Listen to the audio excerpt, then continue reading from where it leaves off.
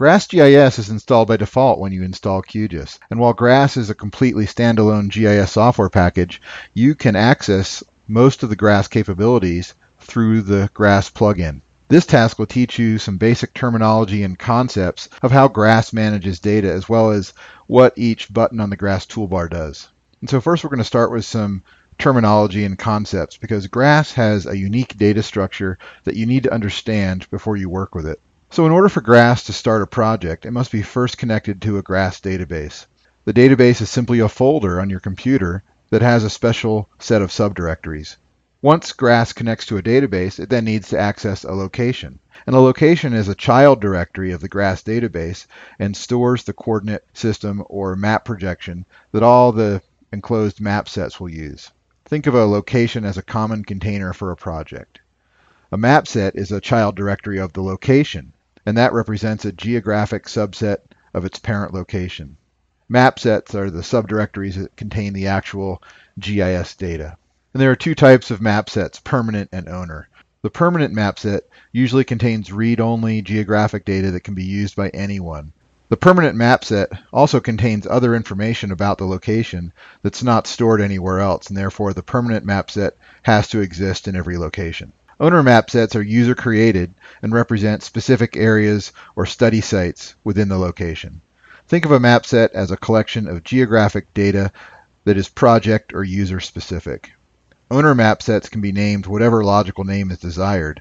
And examples of map set names are usually user1 or Nueces County, where user1 represents a map set created by or created for a user on the system, and Nueces County represents a project dealing with Nueces County, Texas. Lastly, there's the concept of regions. A region is a subset of a location defined by a rectangular bounding box, and the region is important for raster operations as it bounds the area that will participate in any raster operations. So a region is an operating parameter set when you're working in GRASS. And so here, after this long explanation, I've got QGIS Desktop open, and I don't have any data loaded, but I do have the GRASS plugin installed, and the GRASS toolbar is docked right up here. Right now, most of the buttons are disabled because I don't have a GRASS map set open.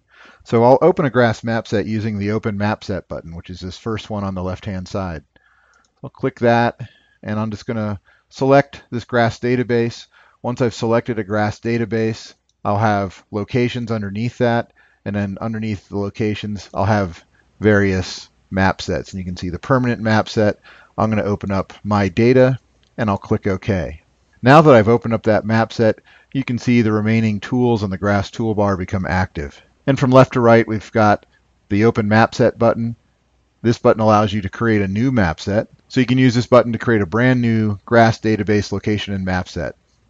The next button is the Close Map Set button, so it'll close the map set that you have open at the moment. Then the next two buttons are for adding data. This is adding GRASS vector data, and if I click this, it's going to locate data that is in the map set that I have open. Same with the button next to that, the Add Raster layer button, and again, it will be finding data that's in my map set. After that, there's a Create New GRASS Vector button, allow you to create a new layer.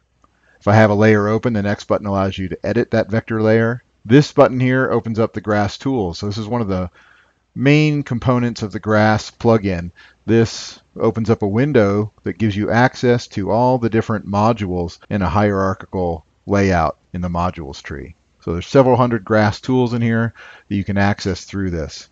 So for example, I can expand this and see the tools underneath each category.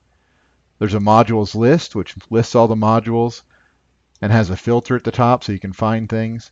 And then the browser, which is going to allow me to find the data that I have in my map set. So I can expand the My Data map set, expand the vector folder, and see that I have a couple layers in here.